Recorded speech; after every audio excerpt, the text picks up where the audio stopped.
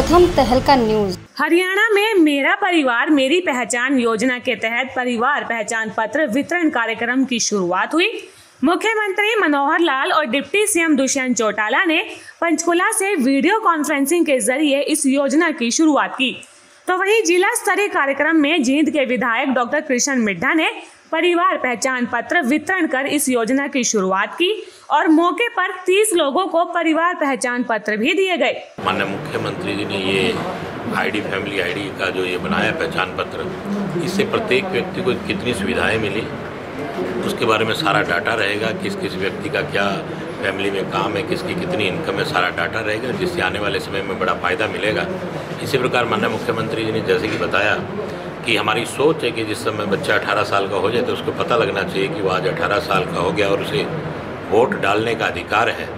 और जब व्यक्ति 60 साल का हो जाएगा ऑटोमेटिकली उसके अकाउंट्स में आ, उसको बता दिया जाएगा कि आज से आपकी बुढ़ापा पेंशन प्रारंभ हो गई है ताकि उसको किसी भी डॉक्यूमेंट्स के लिए इधर उधर भागना ना पड़े और उसको छोटी सी फॉर्मेलिटी के तौर पर ही करने पर ही उसकी पेंशन उसको मिलनी प्रारंभ हो जाए। तो ये माननीय मुख्यमंत्री जी की सोच की और माननीय डिप्टी सीएम की सोच की मैं बड़ी तारीफ़ करूँगा और उन्होंने प्रत्येक ऐसे व्यक्ति के बारे में सोचना प्रारंभ किया, जो बिल्कुल अंतिम छोर तक का व्यक्ति उसके बारे में सोचना प्रारंभ किया। जैसा कि पार्टी की नीति भी है, इसके लिए मैं माननीय मुख्यमंत्री जी को भी बधाई देता हूँ और माननीय डिप्टी सीएम साहब को भी बधाई देता हूँ और सभी जिन जो इस पॉलिसी से लाभ लेंगे, प्रत्येक व्यक्ति को बधाई देता कार्यक्रम में मौजूद उपायुक्त डॉक्टर आदित्य दहिया ने योजना के परियोजन पर जानकारी दी। उन्होंने बताया कि परिवार पहचान पत्र भविष्य में परिवार की सत्यापित पहचान होगी।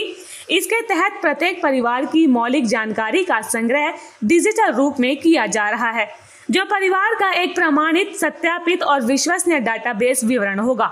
एक लाख ग्यारह हज़ार के लगभग परिवार पहचान पत्र बने हैं और मैं आपके माध्यम से सभी जींद वासियों से अनुरोध करूँगा कि इस महीने 27 अगस्त से 30 अगस्त चार दिन कैंप लगाए जाएँगे। और कैंपों के ज़रिए जितने भी परिवार पहचान पत्र हैं किसी ने अपने पहचान पत्र में करेक्शन करानी हो कोई उसमें समस्या हो तो कैंपों में आ सकते हैं और इन कैंपों के ज़रिए इन चार दिन सभी नागरिकों की सभी समस्याएँ दूर की जाएँगी। तो किस तरह का लाभ सर इनको मिल परिवार पहचान पत्र के द्वारा सभी सरकारी स्कीमें आगे लिंक की जाएँगी। आज लेबर डिपार्टमेंट की जो अनऑर्गेनाइज सेक्टर के वर्कर्स की लाभ की स्कीम है उसको परिवार पहचान पत्र द्वारा लिंक किया गया है। और भविष्य में सभी विभागों स्कीमें इस परिवार पहचान पत्र के थ्रू दी जाएँगी। प्रदेश में इस प्रक्रिया को अगले तीन महीने में पूरा करने का लक्ष्य निर्धारित किया गया है। सरकार के मंत्री तो इस योजना को गरीब कल्याण की दिशा में एक रामबाण बता रहे हैं। अब देखने वाली बात तो ये होगी कि परिवार पहचान पत्र नाम की ये योजना प्रदेश के प्रत्येक नागरिक तक सरकारी योजनाओं का लाभ पहुँचाने में कैसे मददगार होगी। प्रथम तहलका के लिए हिसार से परवीन कुमार की रिपोर्ट।